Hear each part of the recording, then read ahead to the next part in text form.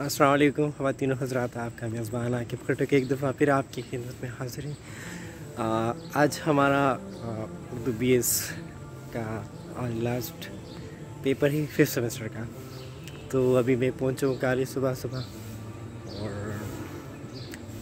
इंशाल्लाह इसके बाद फिर वैसे छुट्टियाँ तो हमें पहले मिली थी गर्मियों की, लेकिन दरमियान में पेपर आ गए तो फिर काली स्टार्ट हो गई।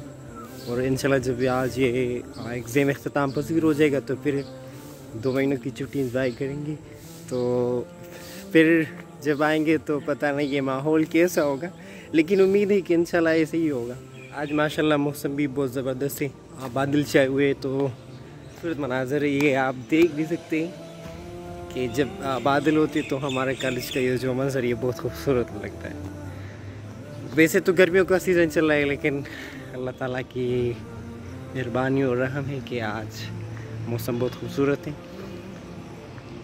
इंशाल्लाह जब आज ये एग्ज़ाम अख्ताम पजीर हो जाएगा तो फिर छुट्टियाँ तो हमें पहले मिली थी, लेकिन दरमियान में ये सेमेस्टर के पेपर आ गई तो उसकी वजह से हमारा जो छुट्टियाँ थी तो हम उसका इंजॉय ना कर पाए।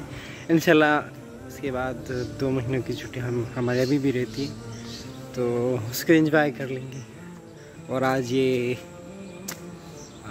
खूबसूरत दिन अपने दोस्तों के साथ इंजॉय करेंगे।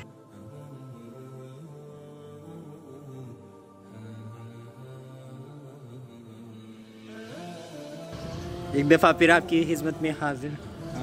अल्हम्दुलिल्लाह अल्हम्दुलिल्लाह, एक एग्ज़ाम जो तो ताम पजीर हो चुका है। तो अब यहाँ से निकल रहे पहले पानी यहाँ पे पी लेते हैं।